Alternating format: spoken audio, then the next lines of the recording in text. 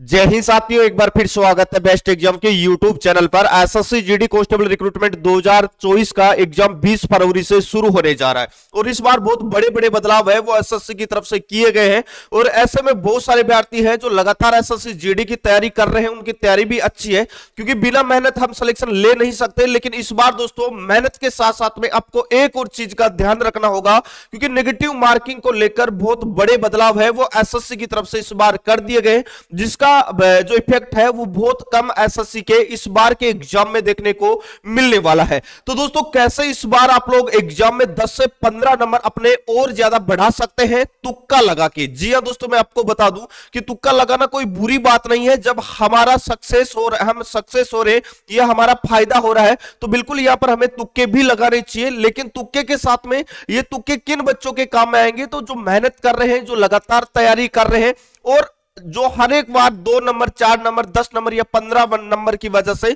भर्ती प्रक्रिया से बाहर हो जाते। तो यहाँ पर दस से पंद्रह नंबर भी आप बढ़ा सकते हैं। तो कैसे आप लोगों को तुक्का लगाना है? उसके साथ ही बात करेंगे कि नेगेटिव मार्किंग का असर इस बार बहुत कम देखने को मिलने वाला है, क्योंकि नेगेटिव मार्किंग को लेकर एसएससी की तरफ़ से पहली बार एसएससी जीडी के एग्ज़ाम में इतना बड़ा बदलाव किया गया है, क्योंकि सबसे ज़्यादा जो डर रहता है वो रहता है नेगेटिव मार्किंग का। कि काश जो सही होने वाले क्वेश्चन है, वो भी वहाँ पर गलत हो जाते हैं, अगर आप ज़्यादा क्वेश्चन नेगेटिव कर देते हैं। लेकिन इस बार ऐसा नहीं होने वाला है। इस बार आपके नंबर बढ़ने ही वाले हैं, चाहे आप कितने भी क्वेश्चन आप करके आने वाले हैं। लेकिन मैं आपको बता दूँ, ये नेगेटिव मार्किंग वाला और तुक्का मारने वाला जो फ़ायदा है, वो किन अभ्यर्थियों को मिलने वाला है? और सबसे ज़्यादा फ़ायदा किन अभ्यर्थियों को होगा इसका? तो बिल्कुल इस वीडियो में उसी के बारे में पूरी जानकारी आप लोगों को डिटेल से बताने वाला हूँ, क्योंकि बहुत सारे अभ्यर्थियों का एग्ज़ाम बीस, इक्कीस या बाईस शुरू में ही एग्ज़ाम होने वाला है। तो उनको सबसे ज़्यादा घबराहट कि सर मेरी तैयारी अच्छी है क्योंकि पूरे क्वेश्चन आप अटेम्प्ट नहीं कर पाते हैं ससी में तो लास्ट समय में जो क्वेश्चन आपको नहीं आ रहे हैं तो उन पे क्या करना है? क्योंकि नेगेटिव मार्किंग होनी है तो नेगेटिव मार्किंग के होते, क्या हमने तुक्का लगाना चाहिए या नहीं लगाना चाहिए? तो बिल्कुल सारी जानकारी बताऊँ। जो भी बच्चे चैनल पे पहली बार जुड़े, चैनल को आप ज़रूर सब्सक्राइब कर लीजिएगा, ताकि इन फ्यूचर आगे आने वाली एसएससी जीडी भर्ती के रिगार्डिंग हर एक अपडेट आप लोगों तक सबसे पहले पहुँचते रहे। दोस्तों सबसे पहला मैं डाउट आप लोगों का क्लियर कर देता हूँ। देखो एसएससी का जो नेगेटिव मार्किंग था, वो इससे पहले इससे पहले एसएससी का जो नेगेटिव मार्किंग था, वो था एक बट्टा चार। जी हाँ दोस्तों ज़ीरो पॉइंट पचास नेगेटिव मार्किंग है, वो एसएससी करता था, लेकिन इस बार बहुत बड़ा बदलाव एसएससी जीडी के एग्ज़ाम में किया गया है। वो किया गया है कि इस बार आपकी जो नेगेटिव मार्किंग है, वो यहाँ पर रहने वाली है ज़ीरो पॉइंट पच्चीस। ज़ीरो पॉइंट पच्चीस नेगेटिव मार्किंग रहेगी मतलब एक बट्टा आठ नेगेटिव मार्किंग रहेगी, एक बट्टा चार नेगेटिव मार्किंग की जगह इस बार एक बट्टा आठ नेगेटिव मार्किंग कर दी गई है। सपोजली दोस्तों, अगर आपको आपको अस्सी क्वेश्चन है, जैसे कि एग्ज़ाम में आपके 80 क्वेश्चन आने वाले हैं 80 क्वेश्चन आप लोगों के यहाँ पर होंगे, वो 160 नंबर के होने वाले। 80 क्वेश्चन आपके कितने नंबर के होने वाले हैं? 80 क्वेश्चन आपके 160 नंबर के होने वाले हैं। अगर आपने मेहनत अच्छी की है, और इन 80 क्वेश्चन में से अगर आपने 60 क्वेश्चन सही कर दिए 80 में से 60 क्वेश्चन ऐसे जो आपको आ रहे हैं, क्योंकि आपने अच्छी मेहनत की है। अगर 60 क्वेश्चन आप सही कर रहे हैं, और मैं आपको बता दूँ, यहाँ पर साठ क्वेश्चन सही कर रहे इसका मतलब 120 नंबर आप लेके आ रहे हैं इस बार। लेकिन यहाँ पर फ़ायदा इन्हीं अभ्यर्थियों को होने वाला है। बाकी के जो क्वेश्चन है, बाकी के जो 20 क्वेश्चन है, वो आपको नहीं आ रहे बाकी के 20 क्वेश्चन आपको नहीं आ रहे हैं, इसका मतलब आप उन क्वेश्चनों को छोड़ के आएँगे तो भाई आपका स्कोर 120 का 120 ही रह जाएगा। लेकिन अगर आप इन 20 क्वेश्चनों में से आपको लगता है कि सर सात या आठ क्वेश्चन आठ क्वेश्चन ऐसे है जो मेरे को लग रहा है कि इसमें या तो ए होगा या बी होगा। अगर उन आठ क्वेश्चन को आप करके आ रहे हैं तो अगर उन आठ में से, अगर उन आठ में से एक क्वेश्चन भी अगर आपका गलत होता है या पाँच क्वेश्चन आपके गलत हो जाते हैं, चार क्वेश्चन आपके सही होते हैं, फिर भी नेगेटिव मार्किंग का आपको फ़ायदा मिलेगा, नुकसान नहीं होगा।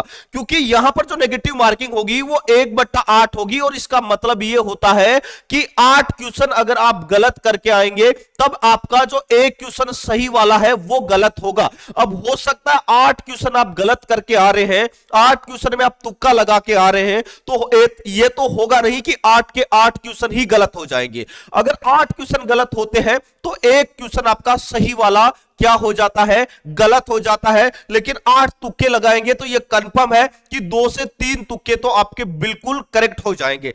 फिर भी आपके दो क्वेश्चन यहाँ पर बच जाते हैं। मतलब दो नंबर दो क्वेश्चन सही हो जाते हैं। एक क्वेश्चन अगर आपका सही वाला गलत होता है, फिर भी दो क्वेश्चन आपके सही होते हैं तो चार नंबर का आपको फ़ायदा हो जाता है। और ये चार नंबर आपके 120 में ऐड होंगे और 120 से आपका स्कोर 124 चला जाएगा। तो ये नेगेटिव मार्किंग का जो इस बार का एसएससी जीडी का नेगेटिव मार्किंग हो रहा है, उसका असर बहुत कम है। आठ क्वेश्चन अगर आप गलत करेंगे, तब आपका एक क्वेश्चन सही वाला गलत होगा। इसका मतलब नेगेटिव मार्किंग बहुत कम है। अगर आप 16 क्वेश्चन गलत करके आ रहे हैं, इसका मतलब भी दो ही क्वेश्चन आपके सही वाले गलत होंगे। तो इन्हें 16 में से हो सकता है आपके सात या आठ क्वेश्चन तुक्के में सही हो जाए। लेकिन तुक्का आपको कैसे लगाना है और इसका फ़ायदा उन्हीं अभ्यर्थियों को मिलने वाला है जिनकी मेहनत अच्छी है। क्योंकि ऐसा तो होगा नहीं कि हम तुक्का लगा लगा के स्कोर 140 या 145 पहुँचा देंगे। ऐसा बिल्कुल नहीं होने वाला, लेकिन इस तुक्के का फ़ायदा उन अभ्यर्थियों को मिलेगा, जिसका स्कोर 120-25 तक जा रहा है और 10-15 नंबर यहाँ से तुक्के वाले ऐड हो जाएँगे तो उसका सिलेक्शन इस बार की एसएससी में हो जाएगा। तो भाई नेगेटिव मार्किंग का असर इस बार बहुत कम देखने को मिलने वाला है। जो बच्चा ये सोच रहा है कि, सर, मैंने 60 क्वेश्चन किए हैं 80 क्वेश्चन में से मैंने 60 क्वेश्चन किए हैं, और ये 60 क्वेश्चन मैंने वही किए हैं, जो मेरे को आ रहे थे।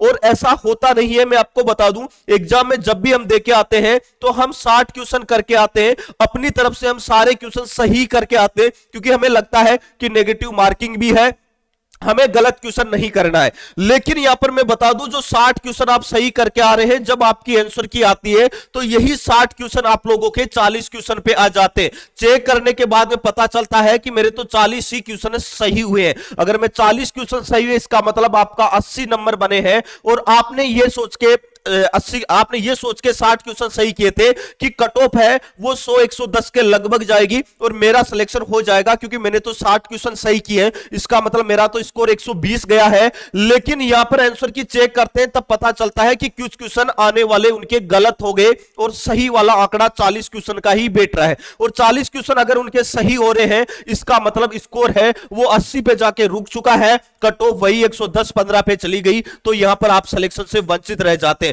लेकिन यहाँ पर फ़ायदा तब आपको मिलेगा जब आपके, जब आपने साठ क्वेश्चन किए हैं और वहाँ पर अगर आपके, आपने अपनी तरफ़ से सही करके आए, फिर भी पाँच, सात क्वेश्चन आपके गलत होते हैं, फिर भी अगर आपने बाकी के बचे बीस क्वेश्चन में अगर आपने तुक्का लगाया है, अगर बीस बीस क्वेश्चन में से अगर आपके सात या आठ क्वेश्चन भी सही हो जाते हैं तो आप इस 110 वाले आंकड़े में फिर से पहुँच जाते इसलिए मैं आपको बताता हूँ कि भाई इस बार एसएससी जीडी का नेगेटिव मार्किंग है, वो बहुत कम कर दिया गया और इसका इफ़ेक्ट बहुत कम देखने को मिलने वाला है। अगर आप सीरियस है, आप मेहनत कर रहे हैं, आपको लगता है कि इस बार तो सर सिलेक्शन लेना है, वर्दी हर हाल में हासिल करनी है तो भाई तुक्का भी लगाना पड़ेगा। और साथ में मैं आपको बता दूँ तुक्के का फ़ायदा उन्हीं अभ्यर्थियों को मिलने वाला है, जिनकी मेहनत अच्छी है। देखो, तुक्का लगाना बुरी बात नहीं है। जब हमें फ़ायदा हो रहा है तो वहाँ पर तुक्के लगाने चाहिए, क्योंकि उससे हमें फ़ायदा होगा, क्योंकि इस बार एसएससी जीडी की नेगेटिव मार्किंग का असर है, वो बहुत कम देखने को मिलने वाला है। तो भाई बहुत अच्छे से पेपर करके आना। बीस फरवरी से आप लोगों का एग्ज़ाम है, वो शुरू होने जा रहा है और बहुत सारे नौजवानों का पहले ही दिन एग्ज़ाम में एग्ज़ाम आ चुका है, जिनका सेंटर दूर आया है। तो भाई वो आराम से घर से एक या दो दिन पहले टाइम से निकल के जाए, क्योंकि समय पे अगर आप नहीं पहुँच पाए तो आपको एंट्री नहीं मिलेगी। ये एसएससी का रूल होता है। समय से अगर एक मिनट भी अगर आप लेट हुए तो भाई आपको गेट में एंट्री नहीं दी जाने वाली है। तो अच्छे से मेहनत करते जाओ और लास्ट के समय में आपको ज़्यादा से ज़्यादा ऑनलाइन टेस्ट देना है। जितनी ज़्यादा आप ऑनलाइन प्रैक्टिस करेंगे, उतना ही आपका स्कोर जंप करेगा। इसलिए मैं आपको बार बार यही बोलता रहता हूँ कि एसएससी जीडी का एग्ज़ाम अगर आपको क्रैक करना है तो आपको ऑनलाइन टेस्ट देना है। जितनी ज़्यादा आप टेस्ट सीरीज़ लगाएँगे, वो भी ऑनलाइन उतना ही स्कोर आपका जंप करेगा। और जो बच्चे अभी तक टेस्ट सीरीज़ परचेज नहीं की है तो बेस्ट एग्ज़ाम का एप्लीकेशन डाउनलोड करके एसएससी जीडी की टेस्ट सीरीज़ परचेज कर सकते हैं। प्रीवियस ईयर के पूरे के पूरे पेपर आपको मिल जाएँगे और वहाँ से अच्छे से मेहनत करके एक अच्छा स्कोर खड़ा कर सकते हैं। दोस्तों, आपका एग्ज़ाम कितनी तारीख को है, बिल्कुल आप कमेंट बॉक्स में कमेंट करके आप हमें ज़रूर बताइएगा। दोस्तों स्टूडियो में इतना ही। मिलेंगे नेक्स्ट वीडियो में एक नई अपडेट के साथ में तब तक के लिए जय हिंद, जय भारत।